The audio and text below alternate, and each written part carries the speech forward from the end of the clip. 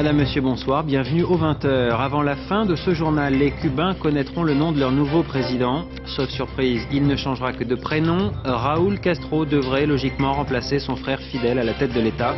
Personne ne s'attend à une révolution, mais c'est une page de l'histoire cubaine qui se tourne. Un président de la République peut-il insulter un de ses concitoyens? La question est soulevée ce soir par l'opposition socialiste qui dénonce l'attitude de Nicolas Sarkozy au salon de l'agriculture hier. Le président a été filmé pendant une brève mais vive joute verbale avec un badaud qui refusait de lui serrer la main. La contrefaçon est plus que jamais un fléau, c'est ce que révèlent les derniers chiffres alarmants. Elle se retrouve désormais partout et on estime que son marché représente 300 milliards d'euros par an de manque à gagner pour l'économie mondiale. C'est l'équivalent du budget annuel de la France. Les travaux de désensablement du Mont Saint-Michel ont pris du retard. Quel sera le prix à payer pour sauver ce monument classé au patrimoine mondial de l'UNESCO? C'est ce qui inquiète en ce moment les élus locaux. Et puis toute la France va croiser les doigts ce soir. Marion Cotillard saura dans quelques heures si elle est nommée meilleure actrice de l'année aux Oscars. Ce serait une première depuis Simone Signoret il y a près de 50 ans. C'était aussi il y a près de 50 ans. Fidel Castro arrivait au pouvoir à Cuba. Il ne l'a jamais lâché depuis jusqu'à ce soir.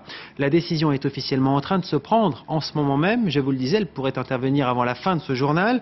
Les Cubains auront tout à l'heure un nouveau président. Il s'appellera aussi Castro, mais Raoul de son prénom. Envoyé spéciaux Christian Autin, Philippe Chasselin. C'est l'affluence des grands jours au Palais des Conventions de la Havane. Plus de 300 journalistes venus du monde entier pour cet événement historique. Très applaudi, Raúl Castro, actuel président par intérim, fait son entrée devant l'Assemblée nationale, nouvellement élu. Les 614 députés votent aujourd'hui pour désigner le successeur de Fidel Castro. Archi favori, Raoul a glissé à son tour le bulletin dans l'urne. Cette élection suscite beaucoup d'espérance dans le pays. Raúl Castro, chef des armées, a promis qu'il allait lancer des réformes économiques pour améliorer le sort des 11 millions de Cubains.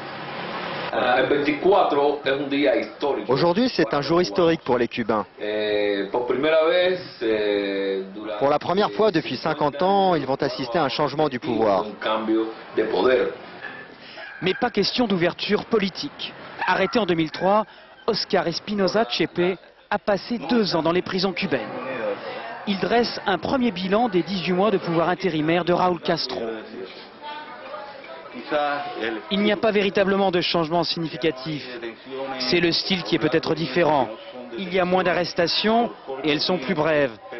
Mais il y a encore la répression contre les dissidents et tous ceux qui critiquent le régime. En ce moment, les députés sont en train de voter pour élire le prochain chef de l'État cubain. Mais le résultat ne fait guère de doute. Raúl Castro devrait succéder à son frère fidèle après 50 ans de pouvoir sans partage. Alors vous l'avez compris, euh, si personne ne s'attend à une révolution, c'est tout de même une page de l'histoire du pays qui se tourne. Tous les Cubains qui ont aujourd'hui moins de 50 ans n'ont pas connu d'autre président que Fidel Castro. L'homme a résisté aussi à tous les assauts, tous les embargos, au risque d'enfermer son idéal révolutionnaire dans ce qu'il faut bien appeler aujourd'hui une dictature. Philippe Rochaud.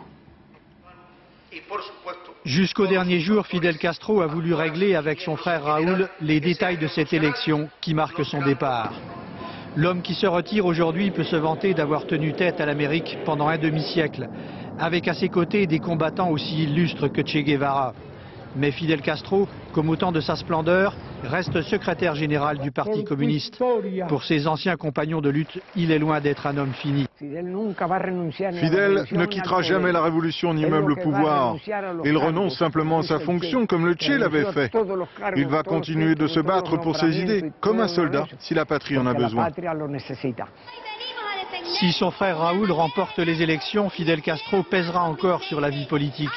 Voilà 49 ans que les deux frères marchent main dans la main, 49 ans que Raúl Castro est ministre de la Défense. On les a vus dans ces grandes parades communistes. L'un aime les slogans révolutionnaires, l'autre, Raoul, est un pragmatique. Mais une page se tourne pour Fidel Castro. Le monde retiendra les temps forts de la déchéance de cet homme de 81 ans. Elle commence avec son malaise dans un discours de 5 heures. Elle continue avec une chute qui va le clouer pour trois mois dans un fauteuil roulant. Elle se poursuit avec son opération de l'intestin qui l'oblige à rester à l'hôpital. C'est là qu'il a voté ce matin pour son frère Raoul, bien sûr. En France, c'est l'inquiétude chez les salariés de Smoby Majorette. Le tribunal de commerce doit étudier demain les offres de reprise du fabricant de jouets qui est en redressement judiciaire depuis cinq mois maintenant. Mais la situation ne s'annonce pas très bonne. L'actuel repreneur a fait savoir avant-hier qu'il jetait l'éponge, ce qui ne rassure pas les 1300 employés français. La plupart se trouvent dans le Jura. Reportage Valérie Lerouge, Marie Cazot. Ce dimanche ensoleillé ferait presque oublier la menace qui plane sur Arinto. Cette commune du Jura compte 1300 habitants, dont près de 200 travaillent pour Smoby. Impossible d'y échapper, le fabricant de jouets est partout, le fondateur du groupe a même donné son nom à une rue. Alors la décision du tribunal attendue demain est dans toutes les discussions. Isabelle, Pascal et Jackie ont entre 17 et 34 ans de maison. Quel que soit le repreneur, ils savent que la moitié des emplois seront supprimés sur l'ensemble des usines. On a beaucoup de personnes qui travaillent en couple, donc euh, même si sur, euh, sur les deux ils en retiennent qu'un, euh, bon, bah, quand il faut retrouver du travail dans une région comme la nôtre, 600, 600 emplois recasés, aussi bien dans le Jura que dans l'Ain, ça va être compliqué. Quoi. Pour d'autres salariés, le dimanche est un jour comme les autres mais la relève de 17h n'avait pas le cœur à l'ouvrage ce soir. Vu dans l'état d'esprit où on travaille, euh, il y a un moment donné, on, vient pratiquement au travail à reculons. Quoi, hein. Donc euh, la situation, il faudra la trouver. Euh, on a tous les sons de cloche, on va avoir des indemnités de licenciement. certains disent qu'on n'en aura pas, donc c'est la vraie question. Si le fabricant de jouets se retire, c'est toute la commune qui va trinquer. Arinto n'a même pas fini de rembourser les investissements faits pour accueillir Smoby. D'abord, on est très surpris, et puis on est méfiant, et puis on attend. On attend. Demain, le tribunal de commerce de Lons-le-Saunier étudiera les deux offres de reprise jugées sérieuses. Les salariés de l'usine et les élus en sauront alors peut-être davantage sur les sites de Smoby qui s'arrêteront là. Un président de la République peut-il insulter publiquement un de ses concitoyens? La question est soulevée ce soir par l'opposition socialiste qui dénonce l'attitude de Nicolas Sarkozy lors de son passage au Salon de l'Agriculture hier. Vous allez l'entendre, le président a eu un bref mais vif échange avec un badaud qui refusait de lui serrer la main.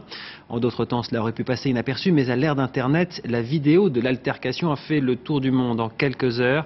Elle est ce soir l'une des plus téléchargées par les internautes. Alix Bouillaguet, Damien Louvet. La scène aurait pu passer inaperçue, c'était sans compter la caméra du parisien.fr. Hier matin au salon de l'agriculture, Nicolas Sarkozy distribue les poignées de main, du classique, jusqu'à ce visiteur.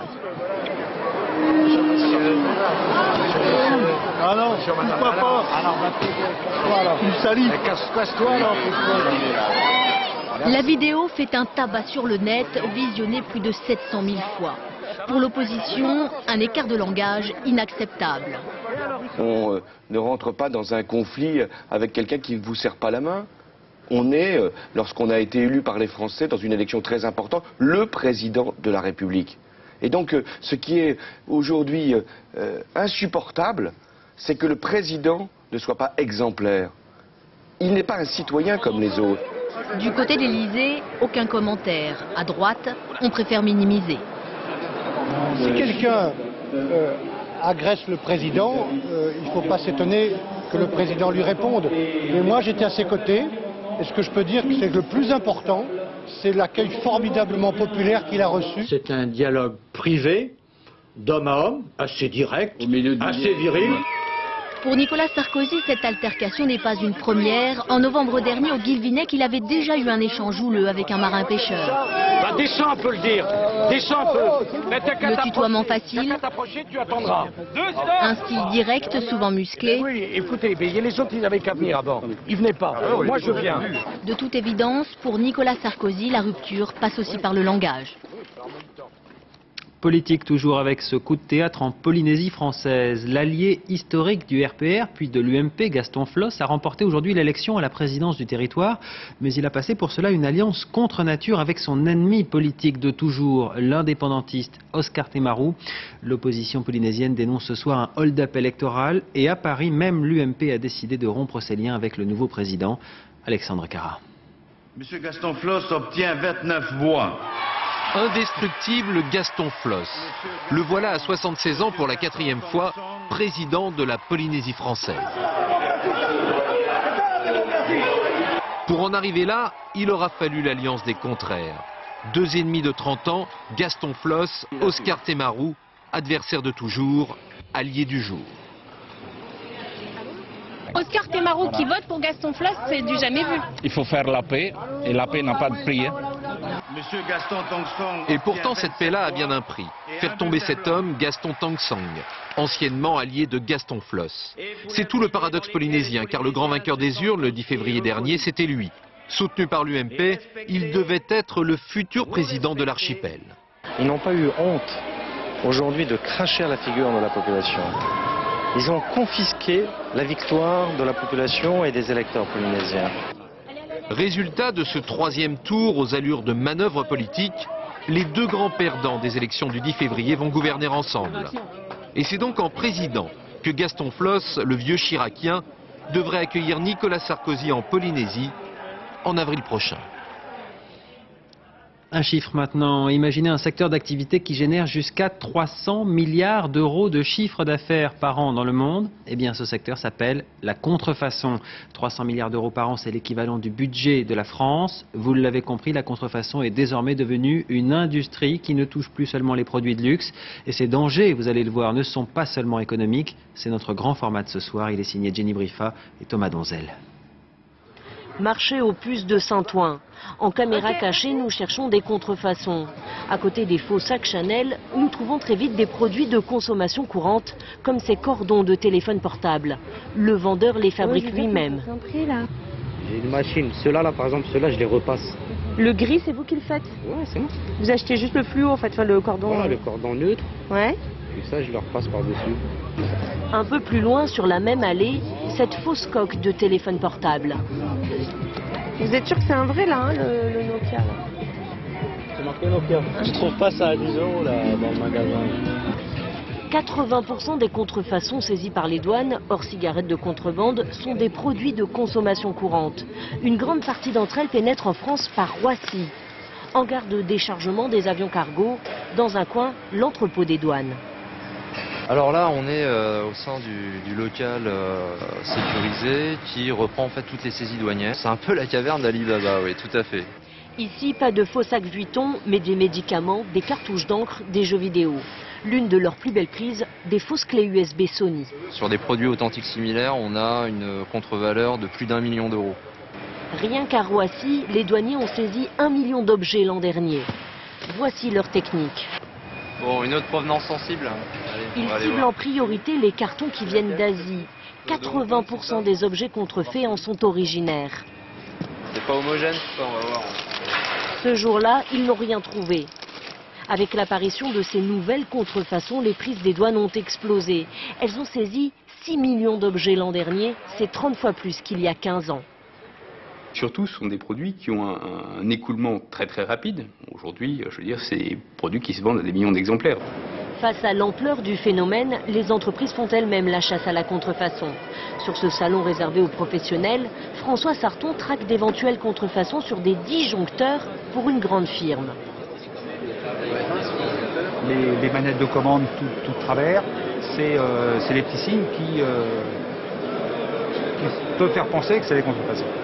Pas de contrefaçon cette fois, mais il reste prudent. Ses collègues en ont déjà détecté en Europe. On a trouvé euh, sur le marché anglais, ça se rapproche de la France, des, euh, des disjoncteurs à l'intérieur duquel il n'y avait rien. Inutile de dire qu'au premier, euh, premier court-circuit sérieux, c'est l'explosion. Avec cette multiplication des copies, les contrefaçons représentent désormais près de 10% du commerce mondial. Comment réduire la douleur après une opération? Jusqu'à présent, les chirurgiens disposaient surtout d'un panel de drogues plus ou moins puissantes, ce qui évidemment n'est pas forcément l'idéal. Mais une étude récente montre que de simples massages pratiqués juste après l'intervention peuvent réduire considérablement la souffrance. Alors le massage va-t-il remplacer la morphine? Explication Jean-Daniel Fézaquier et Jean-Jacques Le Garec. Dans ce service de chirurgie thoracique, on calme la douleur avec des médicaments en perfusion ou de la morphine, mais également avec un autre moyen très efficace, les mains.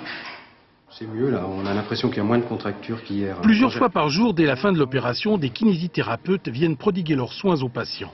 Des pressions précises pour lever les contractures. On lui fait des gestes pour le faire ventiler et en même temps, on agit sur les muscles qui ont été malmenés par l'opération. On masse aussi le côté non opéré, ce que l'on appelle un effleurement, un massage plus large, moins ciblé et qui aide à détendre le patient. Un travail que les chirurgiens apprécient. Le fait de les prendre en charge, de les toucher, de leur faire ces massages, les soulage de façon immédiate sur le plan des douleurs elles-mêmes, mais aussi les détend, les relaxe, et sur le plan psychologique, c'est un élément important. Une étude publiée dans une revue américaine de chirurgie vient confirmer cela. Elle a concerné 605 patients, ils ont subi une grande ouverture de la poitrine, ce qu'on appelle une sternotomie, ou une ouverture de l'abdomen par laparotomie. Ces opérés ont été répartis en trois groupes. Le premier n'a pas vu de kiné, le deuxième a juste reçu la visite d'un kiné, le troisième a bénéficié de 20 minutes de massage quotidien dès le lendemain de l'opération. Résultat, dans ce dernier groupe, on a constaté une diminution significative de l'intensité de la douleur, de l'inconfort et de l'anxiété par rapport aux autres patients. Ils vont mieux plus vite, moins de complications, récupération du patient plus rapide, sortie de l'hôpital plus rapide. Le massage post-opératoire pourrait donc avoir une vertu cachée, aider à soulager le déficit de la Sécu. Ils ont eu beaucoup de chance. Une cinquantaine d'étudiants lillois qui rentraient d'un séjour à la montagne ont évité le pire hier soir en Savoie. Le moteur de leur autocar s'est enflammé alors qu'ils circulaient sur l'autoroute. Le chauffeur a tout juste eu le temps de débarquer tous les passagers avant que le véhicule ne s'embrasse totalement. Hakim Abdelkalek, Elsa Palo, Dominique Mass. Ils ont juste eu le temps de s'échapper. Sur le bord de la route, ils filment leur car dévoré en quelques minutes par les flammes. Hier soir, 48 étudiants de Sciences Po Lille rentrent d'un séjour en montagne. Ils somnolent paisiblement en regardant un DVD quand ils sont brusquement réveillés par le chauffeur. Il y avait déjà des flammes qui sortaient bien du moteur. Et, euh, et comme c'est tout de suite le moteur qui a été touché, euh, on a tout de suite pas mal paniqué genre explosion ou un truc comme ça. Donc on est parti quand même rapidement, très loin. On a eu beaucoup de chance. Dans leur fuite, beaucoup n'ont pas le temps de sauver leurs effets personnels. Certains n'ont même plus de chaussures quand ils arrivent ce matin à Lille, transférés dans un autre car. Ça fait froid dans le dos. Hein. Tu vois les pompiers en train de ramasser toutes les fringues. Ouais. C'est ça qui fait ah ouais cœur. On a vu les ah pompiers ouais. en train de ramasser tous les habits.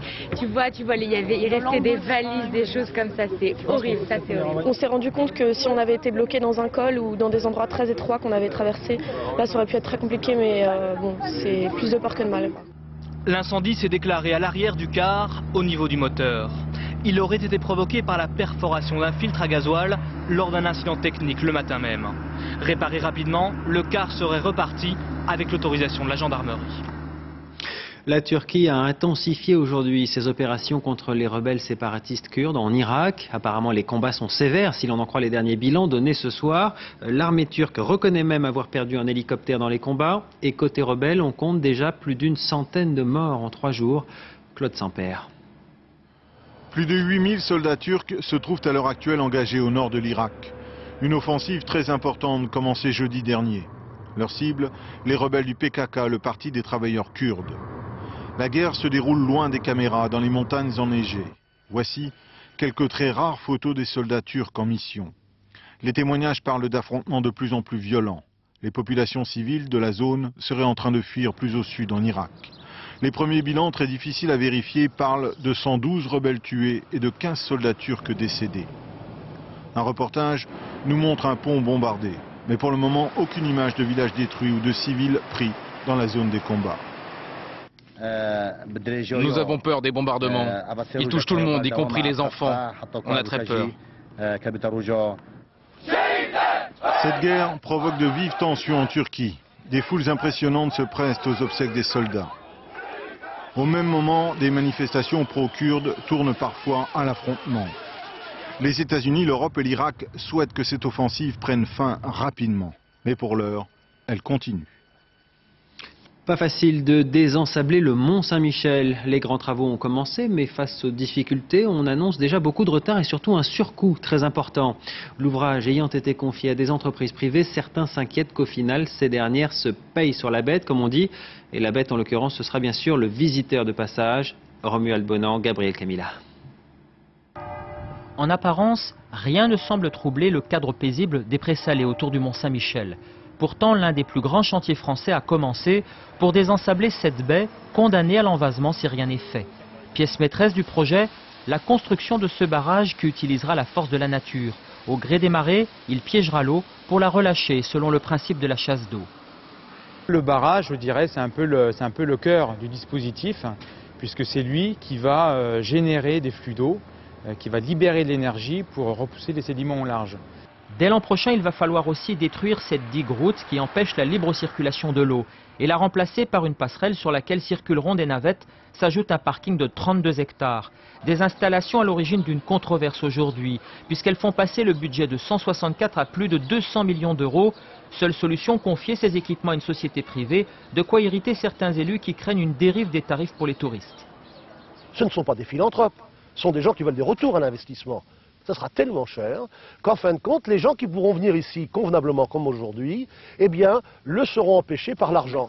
Un dossier ultra sensible en pleine période électorale, alors du côté des responsables du projet, on se veut rassurant.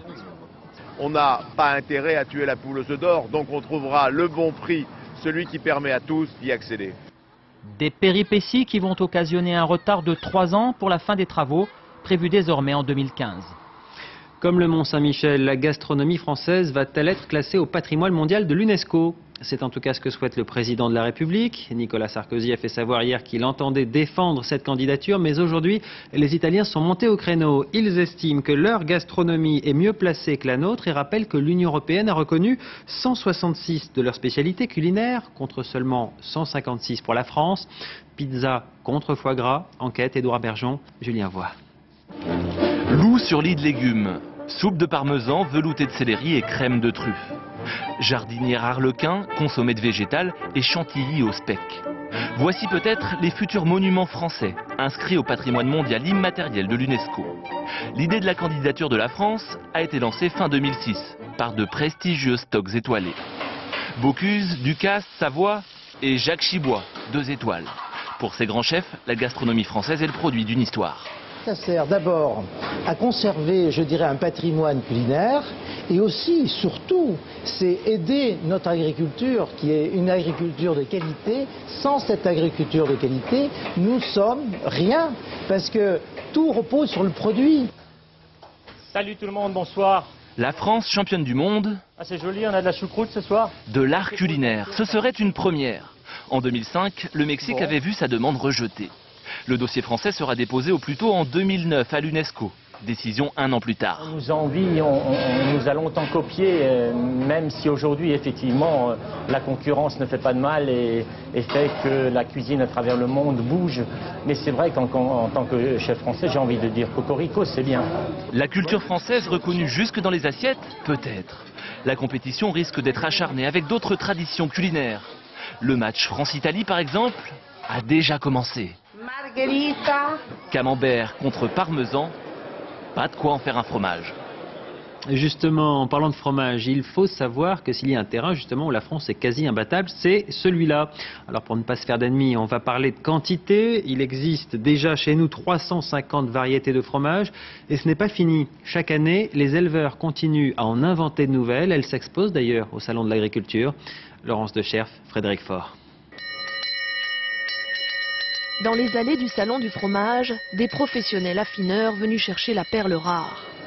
Difficile d'innover en matière de fromage, alors tout est bon pour se faire remarquer avec des produits marketing, de la brochette apéro au mini roulé ou ce chèvre frais à la confiture. Visiblement, ça a du mal à passer. Pour euh, moi, mon palais à moi, mes habitudes à moi, je, n'aime pas, ça ne me plaît pas. En cherchant bien sa perle fromagère, Philippe Olivier va pourtant la trouver et mettre le grappin dessus quatre producteurs sont dans des fermes à plus de 1000 mètres d'altitude. Ce n'est pas une pâte molle à côte fleurie, ce n'est pas une pâte pressée, il se trouve un peu hors norme. Donc il est nouveau parce que personne n'était parti dans, dans cette direction-là. Mais les nouveautés en matière de fromage, ce sont plutôt d'anciennes recettes ressorties des grimoires. Comme ici à Bergue, dans le Nord, où une quinzaine de producteurs s'efforcent de faire revivre leur fromage vieux de 5 siècles. Ici, on fabrique avant tout du beurre, et avec le lait crémé, un fromage pauvre en matière grasse. Pas question de laisser la recette aux industriels, on garde bien jalousement les secrets de fabrication entre petits producteurs de la région. le lait est immédiatement transformé après la traite, et ça euh, à température euh, euh, sortie de mamelle, donc j'irai... Ça, l'industriel ne peut pas le faire. Et donc, il n'aura pas le même goût, là, à l'affinage. Lavé à la bière, ce fromage flamand est affiné 4 semaines dans la cave familiale. Encore confidentiel, le Berg vise l'appellation d'origine contrôlée. Ce serait alors une consécration dans la renaissance de ce fromage. Puisqu'on est dans le patrimoine et la découverte, voici maintenant, en cette période de vacances, une idée de destination superbe et pourtant pas forcément très connue. Il s'agit des étangs de Bages, près de Narbonne, un site préservé où l'on peut observer des milliers d'oiseaux. Reportage Muriel Lassaga, Olivier Combe. Ça ressemble à un bout du monde, parfois même à un coin d'Afrique, lorsque les flamants roses prennent leur envol.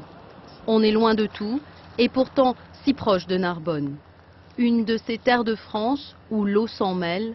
Son nom, les étangs de Bages. Je viens me peindre ici parce que c'est un, endroit merveilleux. On n'est pas loin du paradis quand on est ici avec une belle journée. Regardez, on est au mois de février et regardez la journée qu'il fait là. C'est agréable. Et puis avec des amis, voilà, on s'apprête à la discussion. Euh, il y a plein de choses qui, retrouvent euh, une saveur. Et le spectacle est permanent. D'une rive à l'autre, sans cesse, la vie de ces bêtes ailées tourbillonne dans un calme rassurant. Cet ornithologue les observe toute l'année. Des passereaux comme par exemple l'hirondelle aperçue ce week-end, mais aussi des cigognes, des cormorans et bien sûr ces flamants roses. Espèces protégées, baguées dès la naissance pour mieux comprendre leur pérégrination. On s'est rendu compte comme ça que les oiseaux en fait euh, faisaient des échanges autour de la Méditerranée. Par exemple, un oiseau qui naît en Camargue, une fois qu'il est adulte, peut très très bien aller se reproduire dans le sud de l'Espagne. Mais la beauté de ce parc naturel n'est pas réservée aux oiseaux. Certains chanceux y vivent toute l'année et profitent de ces menus plaisirs qui emplissent le cœur des hommes. Pour Régis, c'est la pêche à l'anguille. Elles sont petites ces anguilles euh, Là non, elles sont pour ici, c'est joli. C'est l'anguille pour faire la bourride ça. C'est la bonne qualité. La bourride, c'est la bouillabaisse locale. Encore un plaisir à partager, simplement, face à l'étang, sans jamais se rassasier de la lumière et des couleurs de bage. Le week-end a été sportif, natation, tennis, rugby, entre autres. Voici le résumé des grands et des petits exploits de cette fin de semaine, même s'ils n'étaient pas tous français. Manuel Tissier. Le Grand Chelem 2008 est un rêve envolé. Une fois de plus, la troisième en un an, l'Angleterre fait plier le 15 de France. Enfoncé par la puissance britannique, les Bleus ont encaissé un essai dès la cinquième minute par Paul Saquet. Menés trop tôt, les jeunes Bleus n'ont pourtant pas démérité. Ils ont réussi à marquer un essai en force par leur capitaine Lionel Nallet. Mais une fois de plus, la régularité au pied de Johnny Wilkinson empêche la France de revenir. Score final 24 à 13 après un second essai anglais. Deux victoires contre l'Italie et le Pays de Galles peuvent encore offrir le tournoi au tricolore. Pour la France qui gagne, voyez Liodra, Michael Liodra, ému aux larmes tout à l'heure. Il remporte le tournoi de Rotterdam. En finale, le Français a battu en trois manches le Suédois Söderling. Deuxième succès de l'année pour le Parisien. À 27 ans, il entrera demain parmi les 40 meilleurs joueurs du monde. En natation, la numéro 1 s'appelle toujours Laure Manodou. Victorieuse du 400 mètres hier à Lyon dans un très bon temps, elle s'est imposée aujourd'hui sur 200 mètres, à moins de 2 secondes de son record du monde. Encourageant à 6 mois des Jeux de Pékin. Et puis en Australie, les parieurs de cette réunion de galopeurs auraient pu gagner beaucoup d'argent. Mais il fallait jouer ce sprinter en kazakh cher pour toucher le quintet. La photo finish est formelle. Il est bien cinquième d'une courte tête. Et l'exploit français ce soir sera, on l'espère, cinématographique. Rarement notre cinéma n'aura été aussi présent pour la grande cérémonie des Oscars. Cinq films français sont en compétition à Hollywood, euh, dont bien sûr le film d'Olivier Dahan, La Môme, Marion Cotillard, vous le savez, concourt pour le titre de meilleure actrice. Ce serait du jamais vu depuis Simone Signoret il y a près de 50 ans. Envoyé spéciaux Martine Laroche-Joubert, Pascal Jouffrio. Au paradis des stars, les étoiles poursuivent un même rêve, décrocher un Oscar. C'est la cérémonie la plus mythique du 7e art. Dernier préparatif, fébrile, la statuette fête ce soir ses 80 ans. Pour cet anniversaire, le cinéma français sera l'honneur, 10 nominations, dont Marion Cotillard, meilleure actrice.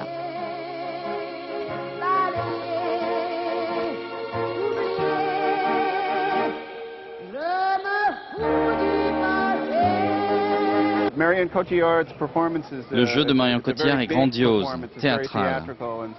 Et je pense que l'Académie apprécie ce genre de performance dans les films. Aéroport de Los Angeles, Marion cache son visage. Trop de pression entre espoir et peur de décevoir. Déjà d'avoir une nomination, c'est quelque chose, euh, ça représente euh, le, bonheur de pouvoir partager ce film euh, avec des gens dans le monde entier, en fait. mais, et puis, j'ai envie de penser à ça, pas d'essayer de fantasmer. Samuel et son producteur n'ont pas les mêmes angoisses. Ils n'avaient jamais osé rêver du glamour d'Hollywood pour leur court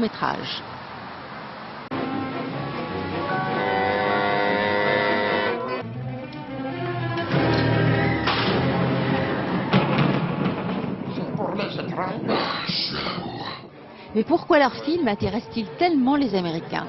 C'est un film qui, sent la France. Euh, je pense que c'est ça qui, leur a plu, la casquette vissée sur la tête d'un petit pépé. Euh. Ce soir, un ou une Française obtiendra peut-être un Oscar, un vrai. C'est la récompense ultime. La magie d'Hollywood demeure intacte. Alors ne soyons pas trop chauvins, le triomphe ce soir sera bien sûr d'abord américain et il pourrait bien s'appeler There Will Be Blood. Huit nominations aux Oscars, notamment dans la catégorie du meilleur film et puis aussi celle du meilleur acteur pour Daniel Day-Lewis. Il incarne l'histoire d'un homme qui a bâti sa fortune dans le pétrole. Au fond, c'est aussi un peu une part de l'histoire de la nation américaine. Emmanuel Lambert. Des ouvriers pauvres et sans avenir, des petits groupes d'hommes qui grattent les entrailles de la terre, voilà pour le tableau de ce début du XXe siècle en Californie. Cela cherchait de l'or, c'est du pétrole qui jaillit presque par accident. Mesdames et messieurs, vous me croirez sur parole si je vous dis que je suis pétrolier. J'ai traversé la moitié de notre État pour venir ici inspecter ces terres. J'ai l'esprit de famille. Voici mon fils et mon partenaire H.W. Plainview. There Will Be Blood, c'est un cours magistral, une leçon d'histoire américaine. Daniel Plainview, parti de rien, devient un puissant magnat du pétrole. Il est sans scrupules, il rachète tout sur son passage, les terres et les hommes. Mais c'est le Seigneur qui nous l'envoie, Ellie. Ah oui, il me semble aussi. C'est pourquoi je vous offre 3700 dollars. Qu'est-ce qui vous a amené jusqu'ici, monsieur? Euh, La main du Seigneur. Vous n'avez pas à vous en faire, vous resterez locataire. Pardon? Et notre pétrole euh, Votre pétrole Il y a du pétrole ici. Ça a sûrement de la valeur. Et vous avez quelqu'un pour l'exploiter L'éloquence qu'il était capable d'engendrer faisait fuir les gens. Il récupérait les terres, les fermes, une à une. Um, Alors il est devenu un de ces bonimenteurs qui proliféraient dans l'ouest des États-Unis. J'ai déjà rencontré... À Little Boston, Daniel Plainview ne craint pas la concurrence, mais un jeune pasteur possédé. Je t'entraînerai dans les langues et tu seras maudit pour l'éternité tous les deux veulent le pouvoir. L'un utilise le pétrole, l'autre la religion. Dans cette fresque épique, le jeu de l'acteur Daniel Day-Lewis est époustouflant. Et n'y allons pas par quatre chemins, There Will Be Blood est un chef-d'œuvre d'une puissance extrêmement rare. Et comme tous les dimanches soirs, voici maintenant notre box-office des films sortis cette semaine. C'est un film français qui arrive en tête, en France donc, hein, euh, largement. Paris, vous le voyez, la comédie de Cédric Lapiche avec Juliette Binoche et Romain Duris a totalisé plus de 140 000 entrées dès le premier jour. Jumper est en deuxième position avec 126 000 entrées. Un château en Espagne totalise 7 200 entrées, un peu plus une comédie sur les 400 coups de deux gamins. Et puis Redacted, le film de Brian De Palma, arrive en quatrième position. C'est une fresque, je vous le rappelle, tournée comme un documentaire sur la violence en Irak. D'ailleurs, elle est plus suivie en France qu'aux États-Unis, ce qui n'est pas surprenant vu le sujet. Le printemps n'est pas encore arrivé, mais la mode, elle, est déjà à l'heure d'hiver. Les grandes maisons présentent leur collection prête-à-porter pour 2009. Estelle Collin et Olivier Robert ont rencontré les jeunes créateurs de deux d'entre elles.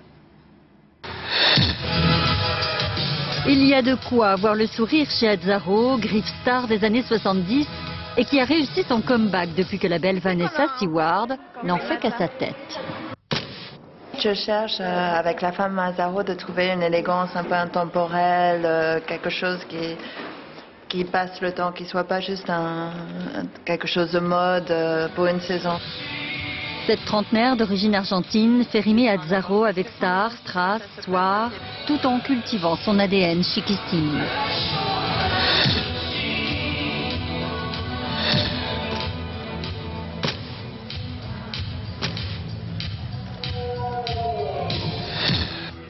Ses collections sont élaborées dans les ateliers de la maison. Sa fabrication est 100% française et sa première cliente n'est autre qu'elle-même. C'est un avantage d'être une femme quand on dessine des robes parce que déjà je peux les tester. Et c'est important. C'est un peu comme on teste une voiture et par exemple, je, suis la première à me rendre compte que je suis allée un peu trop loin avec un décolleté.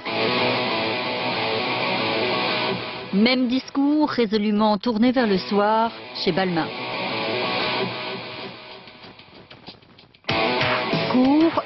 Ultra court, féminin, telle est la vision de Christophe Decarnin, un grand brun aux allures d'adolescent qui a 42 ans a séduit son public. Il y a vraiment des, vêtements très très sophistiqués, très brodés, très riches, des robes longues et aussi euh, ouais, des, des silhouettes vraiment très simples pour le soir. À l'heure où la mode retrouve des envies de stars, ces deux labels, Azzaro et Balmain, possèdent un potentiel incomparable. Avant de refermer ce journal, je vous en rappelle l'un des principaux titres. Les parlementaires cubains élisent en ce moment même un successeur à Fidel Castro. On ne peut pas dire qu'ils aient l'embarras du choix puisque le seul candidat retenu est son frère, Raoul. Dans la soirée, les Cubains verront donc le prénom de leur président changer. Je vous rappelle que Fidel Castro a occupé cette fonction pendant près d'un demi-siècle. C'est la fin de ce journal. Merci de l'avoir suivi. Tout de suite, vous avez rendez-vous avec Isabelle Martinet pour la météo à 20h50. Ne ratez pas votre film Les poupées russes avec Audrey Tautou et Romain Duris. Prochain rendez-vous avec l'information demain matin à 6h30 avec Sophie Le Saint dans Télématin. À 20h, ce sera Françoise Laborde. Et puis pour ma part, je vous retrouverai à 13h pour le journal. Excellente soirée sur France 2.